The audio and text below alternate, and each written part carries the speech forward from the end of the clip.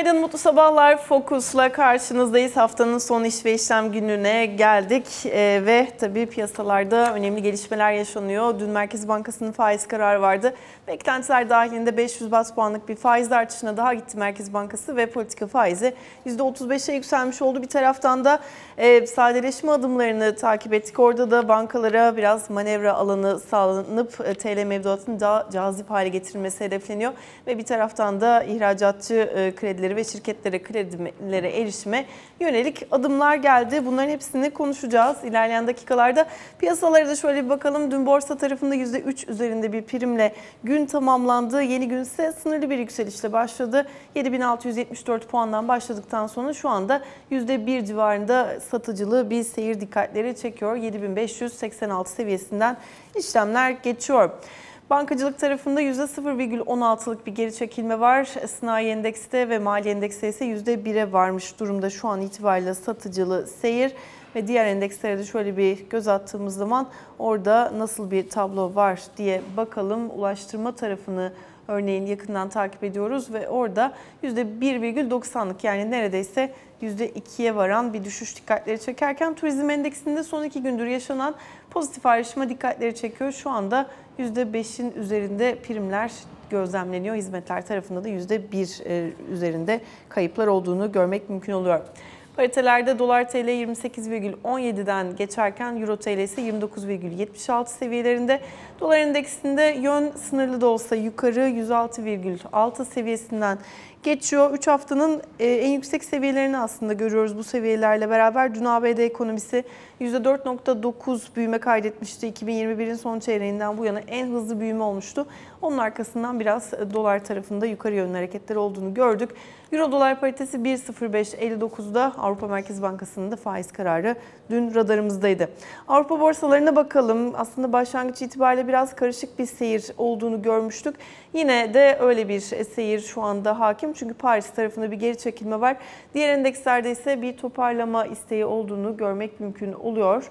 Sabah saatlerinde Asya'da daha iyimser bir tablo vardı. Düne kıyasladığımız zaman ve tabii Avrupa borsaları dün Avrupa Merkez Bankası'nın faizlerde herhangi bir değişikliğe gitmediğini takip etti. Ama bu tabii faiz artırım sürecinde illa sona gelindi anlamına gelmiyor. Yeni artışlara çok sıcak durmuyor gibi gözükse de Avrupa Merkez Bankası ekonomideki yavaşlamadan dolayı e, biraz böyle oradaki gelişmeleri izleyeceğiz, mesajları izleyeceğiz ama genel olarak Eylül toplantısına kıyasla daha endişeli bir hal içerisinde olduğunu gözlemledik. AB, e, Avrupa Merkez Bankası Başkanı Christine Lagarde'ın. ABD vadeli piyasasında şöyle bir baktığımız zaman orada yukarı yönlü açılışlarla e, bir yukarı yönlü hareketlerle bir açılış beklentisi var ama dün ABD borsalarında moraller bozuktu. Hatta Nasdaq tarafına %2'ye vardı düşüşler ve bir düzeltme alanına doğru hareket ettiğini gördük Nasdaq e, Nasdaq'ın ve orada tabii bir taraftan tahvil piyasasını da çok yakından izliyoruz. Tahvil tarafındaki hareketlere baktığımız zaman %5 üzerinde test etmişti Amerikan 10 yıllık tahvil faizi. Oradan kademeli olarak biraz geri çekilme oldu. Hatta dün veri sonrasında, büyüme verisi sonrasında hızlı bir geri çekilmeyle yani tahvile gelen alımlarla beraber tahvil faizinin gerilediğini gördük. 2 yıllık tahvil faizi hala %5 seviyesinin üzerinde olmaya devam ediyor. Bugün de kişisel e, çekirdek kişisel tüketici tüketim harcama verileri ABD tarafından öne çıkacak veriler arasında yer alacak. Emtia ile devam edelim. Emtia piyasasında spot altın 1987 dolardan geçiyor. Sınırlı bir yükseliş var. Gram altın 1799 liradan elleştiriyor ve 1800 lira aşılarak yeniden bir rekor tazeledi aslında daha erken saatlerde. Bitcoin tarafında 34 bin doların üzerinde kalıcılık sağlanacak mı? Bunu izleyeceğiz. 35 bin dolardan geri çekilmişti. Ve tabii ki petrol tarafına da baktığımız zaman orada da jeopolitik gelişmeler hala kendini göstermeye devam ediyor. Amerikan ham petrol 84 dolarda, Brent petrol de 90 doların hemen altında. Şimdi Albatros Portföy'e gidelim. Fon yöneticisi Filiz Özcan bizimle beraber. Filiz günaydın, hoş geldin yayınımıza. Teşekkür ederim Reyhan, iyi yayınlar. Çok teşekkür ederiz. Evet, e, şimdi piyasalara baktığımız zaman sabah saatlerinde Merkez Bankası'ndan gelen e, sadeleşme adımları vardı. Bunlar önemli. Dünkü faiz kararının ardından acaba e, direkt olarak yurt içi piyasalara nasıl bir etki olmasını bekleriz? Yoksa yine hala jeopolitik gelişmelerin radarda olduğu bu günlerde biraz daha yurt dışına bağlı hareketler mi göreceğiz? Paralel hareketler mi gerçekleşecek? Neleri izliyoruz bugün? Dün Merkez Bankası'nın kararı tamamen beklentiye paralel 500 bas puan bir artırım gördük. Akabinde de e, senin de bahsettiğin gibi sadeleştirme adımları geldi. Aslında piyasa açısından baktığımız zaman yani genel ekonomik e, gidişat açısından baktığımız zaman görmek istediğimiz piyasanın beklediği hamlelerdi zaten. Bu açıdan pozitif değerlendirdik. Piyasada da sert düşüş sonrasında e, bir tepki alımı gördük. Açıkçası dünkü e, tepki alımı e, hafta başına denk gelmiş olsaydı bunun biraz daha bankacılık sektörü öncülüğünde sürdürülebilir olacağını görebilirdik. Ama bugün Cuma günü ve e, jeopolitik riskler halen daha masada. Hafta sonu riskini almak istemeyen e, genel yatırımcı e, kitlesi olabilir. Bu açıdan baktığımızda bugün e, bir miktar zayıf geçebilir. Yani risk alma açısından baktığımızda daha zayıf bir gün olarak görebiliriz. Ama genel olarak gelen adımları e, pozitif e, manada değerlendirdiğimizi söylemek mümkün.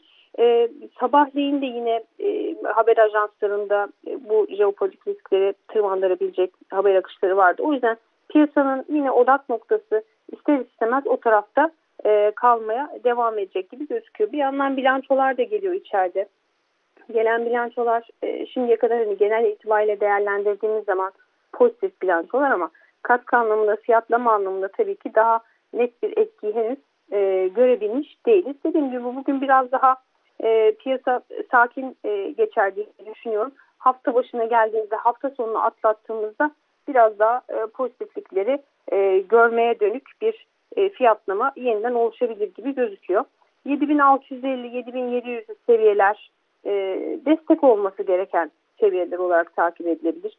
Bunun altında iki hareketlerde çünkü e, yeniden teknik anlamda zayıflama ihtimali e, mümkün gibi gözüküyor. O yüzden e, haftayı bu seviyelerin üzerinde e, kapatmak e, isteriz diyeyim.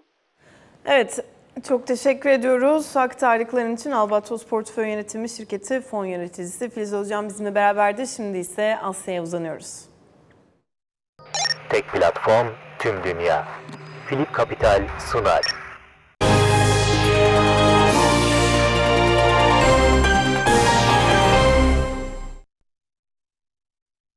E şimdi de e, Bloomberg HT Dubai temsilcisi Ersoy Erkazancı bizimle beraber. Ersoy günaydın, hoş geldin. Arsia ve Orta Doğu piyasalarına dair son gelişmeleri senden dinleyelim. Reyhan merhaba, hoş bulduk. Evet, genelde iyimser bir hava vardı. Pek çok Asya piyasası da şu anda kapanmış durumda. İyimserliğin sebebi aslında Asya'dan değil, Amerika kaynaklı. Dün aslında Amerikan borsaları eksik kapattı. Fakat sonrasında gelen e, Intel ve Amazon e, karları beklenenden iyi olunca seans sonrası yükselişler hem e, şu anda Amerikan vadelerine yansıdığını görüyoruz hem de Asya piyasalarına yansıdığını görüyoruz. Özellikle Hong Kong %2'ye yakın artısıyla bugün dikkat çekti. Japonya'da iyiydi %1'in üzerinde artısı vardı. Ama genele bakarsam Asya Pasifik borsaları e, iyi bir kapanış yaptı. Haftayı iyi kapattı. E, birkaç tane haber dikkat çekiciydi. Çin'in bir önceki başbakanı 68 yaşında kalp krizinden vefat etti. Tokyo enflasyonu beklenenden hızlı yükseldi e, geçtiğimiz ay. E, bir de Çin'in Eylül'de sanayi karları e, %11.9 yükseldi ama bu da beklenenden düşük bir rakam. E, borsalarda iyimserlik vardı, petrolde de yükseliş vardı. O aslında daha kötü bir sebepten. Orta Doğu'daki gerginlik bitmiyor. Son zamanlarda Amerika ile İran arasında biraz daha e, yükseldi tansiyon diyeyim. Amerika Suriye'de iki tane İran bağlantılı tesisi vurdu. İran Dışişleri Bakanı açıklama yaptı. Ee, İsrail ile e, Gazze arasındaki Hamas arasındaki çatışmalar büyürse Amerika bundan nasibini alır dedi.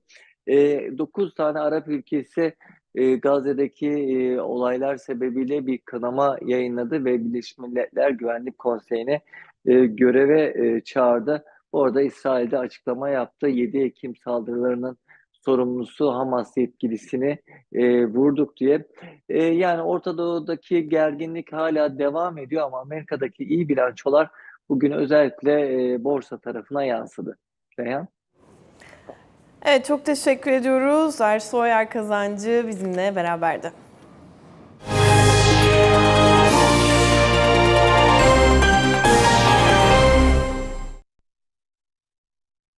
Tek platform tüm dünya. Philip Capital sundu. E şimdi biraz yurt dışındaki gelişmeleri değerlendireceğiz. Değerli bir isim ağırlıyoruz. Stratejist Özgür Hatipoğlu bizimle beraber. Özgür Bey günaydın, hoş geldiniz yayınımıza.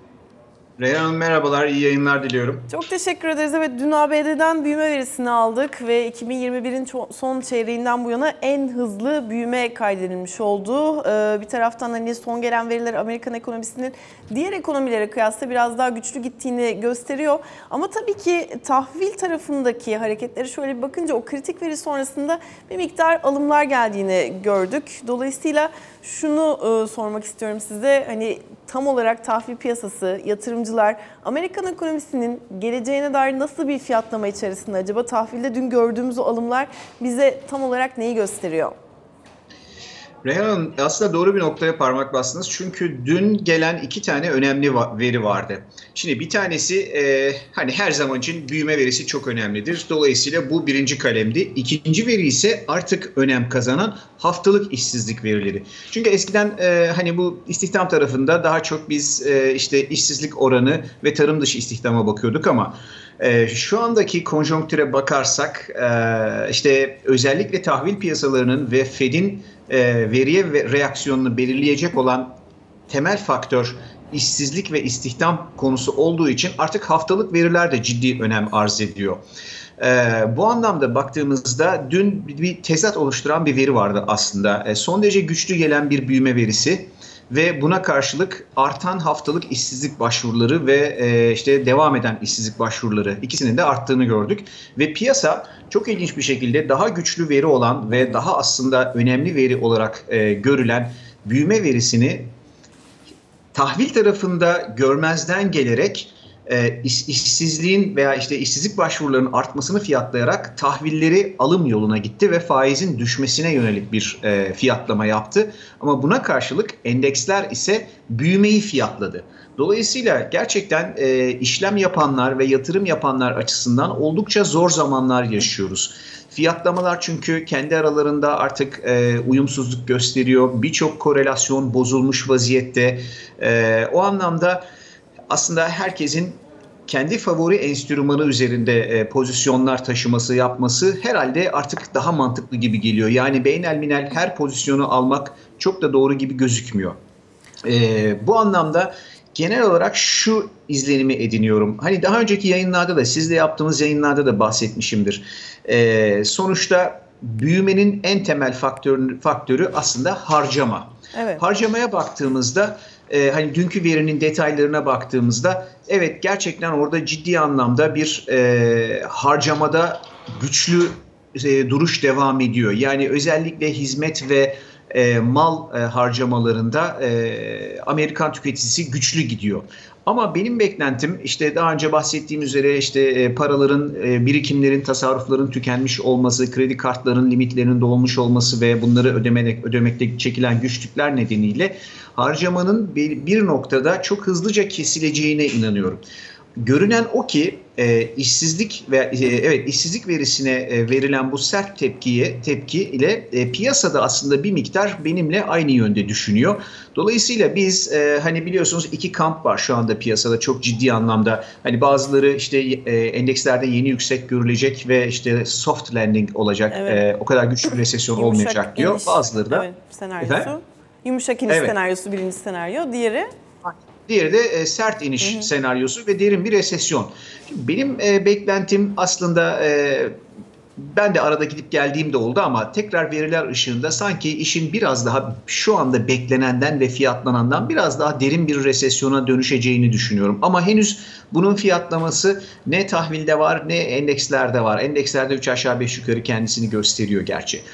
E, bu anlamda baktığımızda muhtemelen birkaç ay sonra e, Reyhan Hanım şu anda baktığımızdan daha farklı bir Amerikan ekonomisi e, üzerine konuşuyor olacağız ve benim öngörüme göre biraz daha negatif senaryoların ağır bastığı bir döneme gireceğiz. İşte o dönemde de muhtemelen özellikle büyüme hisselerinin biraz daha başı dertte olur. Tahvil faizlerinin düşüyor olmasına rağmen o dönemde faizler de biraz aşağı gelebilir. Ama yine de e, bu sefer büyüme endişeleri nedeniyle özellikle büyüme hisselerinin e, performansları düşecektir diye düşünüyorum. Evet yani önümüzdeki dönemde bu biraz hani alt kalemlerdeki verilere baktığımız zaman e, daha yumuşak iniş senaryosundan ziyade daha sert bir iniş olabilir ve bu da biraz hani hisse tarafında da farklılıklara yol açıp daha negatif bir e, seyri beraberinde getirebilir diyorsunuz. Bir de tabii hani jeopolitik riskleri, küresel riskleri de unutmamak gerekiyor. Orada da çok büyük bir belirsizlik oluşmuş durumda ve e, merkez bankalarından gelen açıklamalar genelde hani bu yönde e, bir yani bunu da göz önünde bulundurulduğu yönünde bizim de Merkez Bankamızın metnine girdi dün itibariyle jeopolitik riskler ama orada da belki hani en fazla bu konuya duyarlı olan emtia petrol. Bunu konuşmakta fayda var. Büyük bir belirsizlik olduğu için merkez bankalarının politikalarını da nasıl etkileyeceği e, belli olmuyor. Dün e, Christine Lagarde'a da bu soru soruldu. Ne dersiniz yani sizce petrol büyük bir risk oluşturmaya devam edecek mi? Buradaki bu belirsizlik piyasalar üzerinde nasıl bir, e, ne anlamda bir riski beraberinde getiriyor? E, petrol tabii stratejik bir e, emtia olması itibariyle sonuçta sizin bütün askeri birlikleriniz e, benzinle, yakıtla, akaryakıtla yürüyor. Uçaklarınız, gemileriniz, tanklarınız, her şeyiniz. E, en başta ulusal güvenlik için e, son derece önemli bir emtia. E, ve tabii e, bir şanssızlık, artık şanssızlık da demeyelim, Orta Doğu'nun karışıklığına hepimiz alıştık. Benim e, doğumdan itibaren e, ben kendimi bildiğim bileli Orta Doğu'nun bir noktasında e, savaş vardır.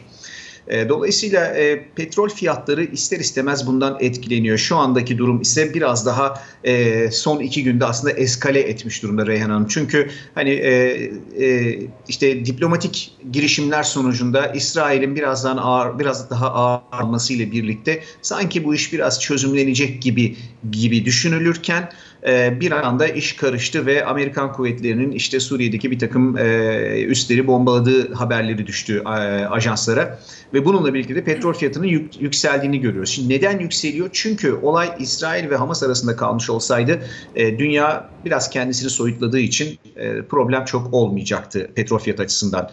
Ancak işin içine Amerika girdiği zaman ve söylenen o ki Suriye'de bombalanan yerlerin işte haber ajanslarında öyle geçiyor. Ee, İran'la ilişkili olduğu konuşuluyor falan. Hani bu tür durumlar başka ülkeler ve bunların her birisi de nükleer kabiliyeti olan e, İran dahil olmak üzere öyle söyleniyor e, ülkeler. Dolayısıyla e, hal böyle olduğu zaman biraz daha e, yayılma etkisi e, gündeme geliyor. Yayılma etkisi gündeme geldiğinde de ister istemez petrol arzını e, ciddi miktarda etkileme, negatif yönde etkileme potansiyeli taşıyor. O yüzden de petrol fiyatlarında bugün gördüğümüz hareketi görüyoruz.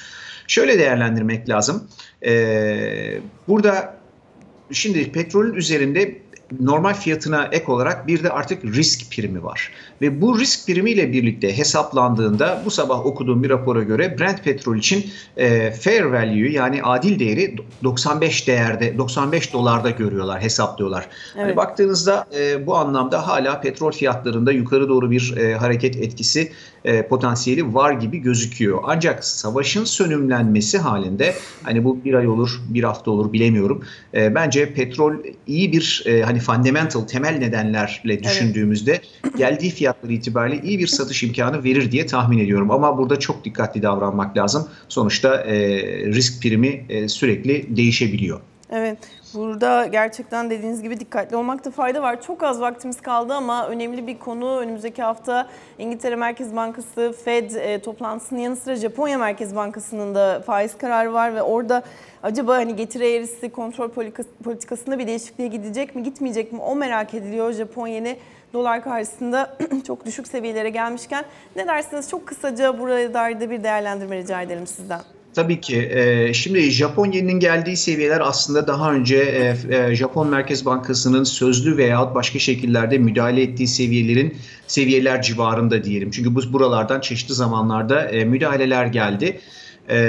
Muhtemelen şimdilik müdahale etmeyecektir ama piyasa Merkez Bankası toplantısı öncesinde öyle bir fiyatlama yapıyor ki Reyhan Hanım opsiyonlarla ee, belki Merkez Bankası'nda getiri eğrisi kontrolüyle ilgili bir manevra olacağını düşünerek ama sonuçta yine e, opsiyon volatilitelerini hesapladığımız zaman e, artan volatiliteleri işte çeşitli fonksiyonlara koyduğumuzda şu anda piyasanın eğiliminin e, işte piyas, e, Japon dolar yen paritesi 150'nin hemen üzerinden geçiyor en az 146'ya kadar e, düşmesini bekliyorlar. Yani 140 146'da opsiyon pozisyonları başa başa geliyor. Eğer e, swapçılar ve opsiyoncular böyle bir fiyatlama yapıyorsa e, şunu düşünüyorlardır. 146'nın altına gelecek bu fiyat ki ben kar edeyim. Evet. Bu anlamda önümüzdeki hafta Japon yeninde ciddi bir volatilite e, bekliyorum.